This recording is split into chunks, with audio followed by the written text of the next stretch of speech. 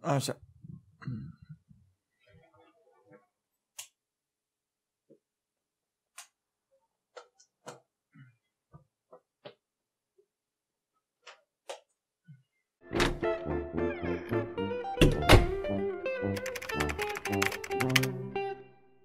Probabil vă întrebați ce e asta și unde e podcastul, nu? E bine, podcastul o să apară în continuare.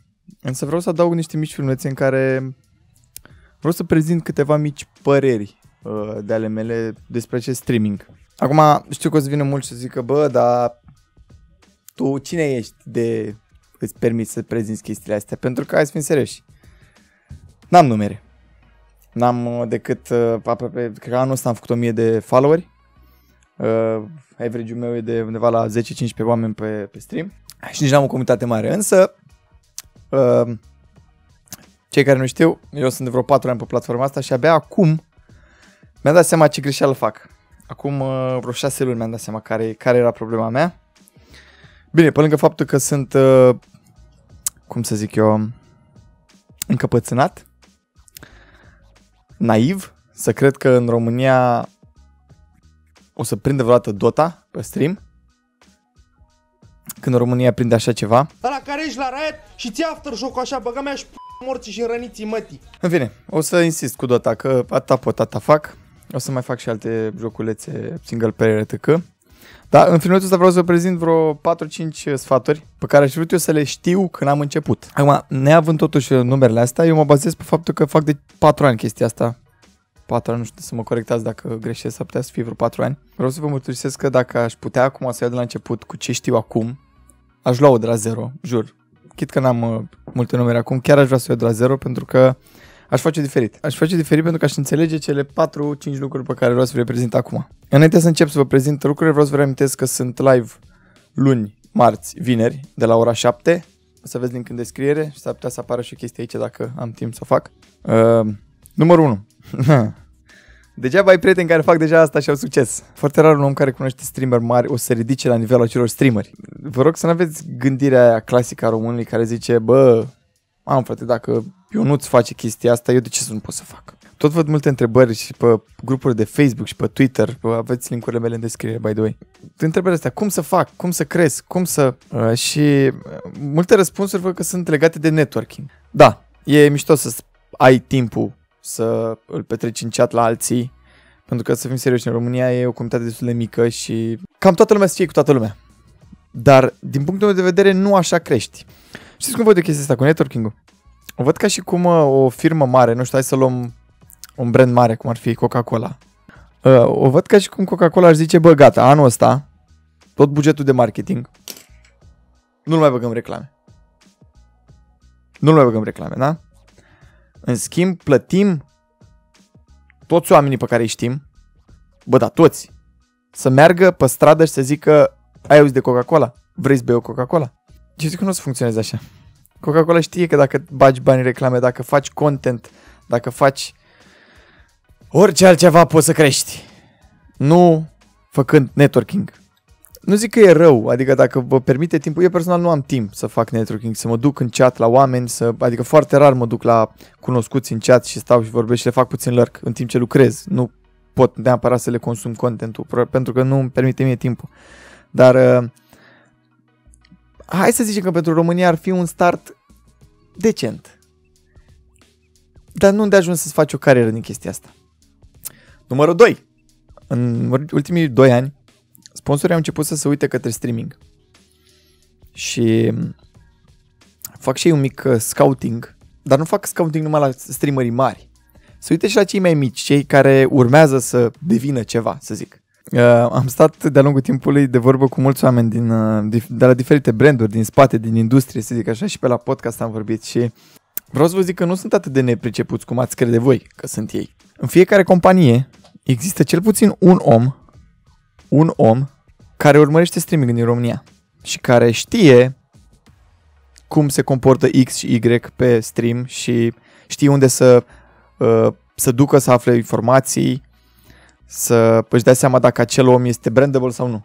De-a lungul timpului și-au dat seama că oamenii nu prea au pe ce pune mâna în România pentru că, părere personală, din nou, uh, streaming în România a fost uh, introdus oarecum mai mult prin YouTube și nu că hater, deși sunt hater la faza asta, uh, nu prea s-a înțeles. S-a împrumutat foarte repede din cancanul din, de pe TV și s-a făcut același lucru și pe net. Tot ce a avut în plus era că era online și puteai să-l urmărești, puteai să-l urmărești oricând. Uh, așa că toți oamenii ăștia din industrie au început să vadă potențialul uh, uh, din gaming și au zis, bă, hai să investim, hai să investim, dar în cine investim că nu prea avem în cine. Așa că ce am început să facă? Am început să dea puțin scroll și să ajungă la streamer mai mici și să îi ajute pe cei care sunt mai curați. Așa că dacă vrei să te apuci de streaming, fă tot ce poți de la început. Nu fi un... Uh, uh, încearcă să livrezi un content care este brandable, care poate fi urmărit de mai mulți oameni, nu numai de copiii care adoră, cum v-am arătat înainte, cu League of Legends sau alte nebunii. Cât că joci LOL, n-am nicio problemă cu jocul. N-am nicio problemă cu jocul. Atunci ceva în plus.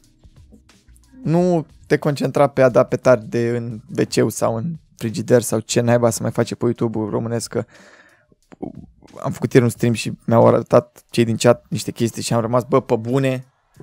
Uh, dar reveni, știu oameni care, care dacă le dai un mail și le zici, bă, vreau o colaborare, cam știu unde să uite. Și crede-mă, dacă ai fost un streamer mai de rahat la început, pentru că ai zis că, bă, e mai ușor să cresc așa, mai ușor să aduc niște numere, crede-mă, chestia asta te va bântui puțin pe, pe viitor.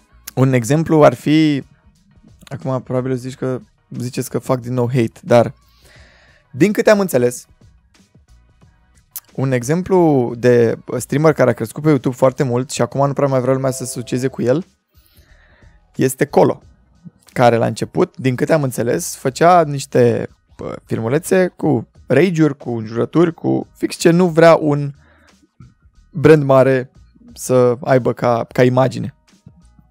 Și acum nu prea mai găsește chestii de genul. Și gândiți-vă că dacă vreți să ajungeți în punctul în care vreți să faceți o carieră din chestia asta, să vă câștigați traiul din chestia asta, oricât de mulți bani va aduce comunitatea, tot prin sponsorizări trebuie să ajungeți să trăiți. Și când ajungi în punctul în care trebuie să ai tu niște bani să mănânci, să plătești o chirie sau să plătești o rată la bancă sau cine știe ce altceva, de acolo îți vină banii. Așa că ai grijă, ai grijă cum te porți. Și nu uitați că ei vor ști ce fel de oameni vă urmăresc pe voi.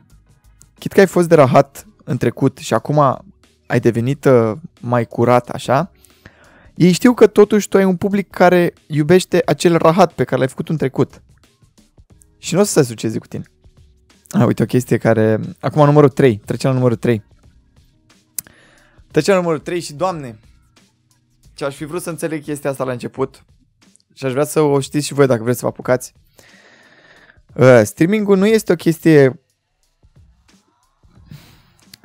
cum era, cum e muzică pe la un, din când în când se mai ivește un om din muzică care face chestia asta. Să ai succes peste noapte.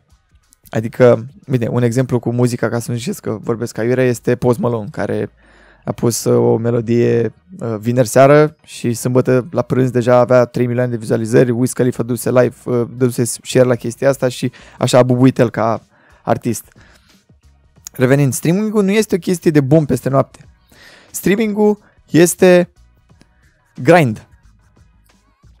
E vorba de grind, e vorba de luni, de ani, de, de muncă, de seriozitate ca să ajungi sus.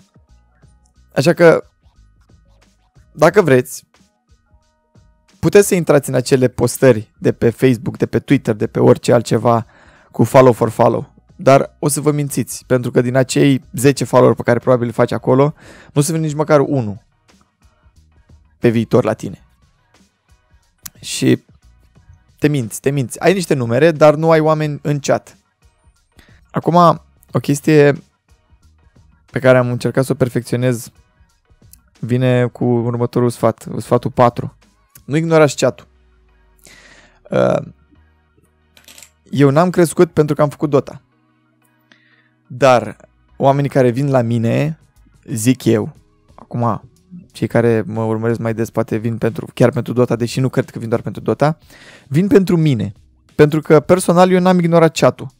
adevărat, am uh, vorbit foarte mult cu chat ceea ce a adus un minus la joc, pentru că nu poți să fii atent 100% în ambele direcții. Adică dacă ești pe ecranul principal unde te joci și după te mai uiți puțin la chat, o să vezi că ai ratat un fight sau o chestie, în sfârșit.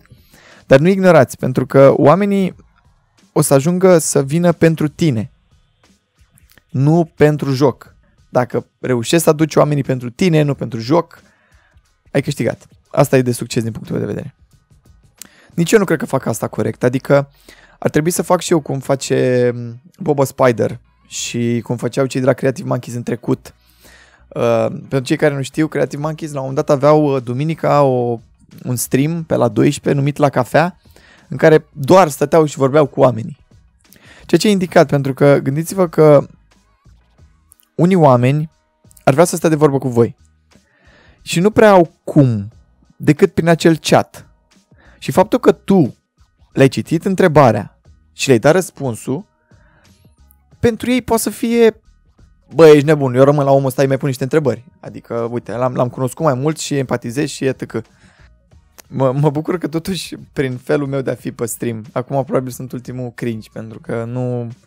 Mă, e foarte greu să vorbesc în fața camerei, chit că fac asta în fața unui webcam de trei ori pe săptămână, v-am mai zis, luni, marți și vineri de la ora 7 jumate. Mă simt foarte ciudat să mă, mă tot promovez atâta, parcă mă simt ca un impostor. Nu uitați că streaming-ul va duce uh, un lucru în plus pe care Instagram-ul, YouTube-ul nu vi-l aduce. Și anume acel mic delay de 3 secunde. 3 secunde în care tu poți să răspunzi unui om în chat. Profitați, vă rog, de acest mic response time pe care vi-l oferă Twitch-ul, pentru că nu mai există altă platformă care să vă ofere așa ceva. Uh, mai aveam un sfat pe care vreau să vi-l spun, doar că se face cam lung filmulețul ăsta. Deja am tras vreo 25 de minute și nu vreau să-l fac de lung, pentru că nu vreau să mergem în zona de podcast foarte lung, vreau să fie niște filmulețe mai scurte. Așa că sfatul ăsta o să vi-l zic, dar o să-l o să povestesc mai mult despre chestia asta într-un alt filmuleț pe care o să-l fac puțin mai târziu. Și sfatul este unul ciudat, de asta trebuie să-l explic în alt, în alt filmuleț.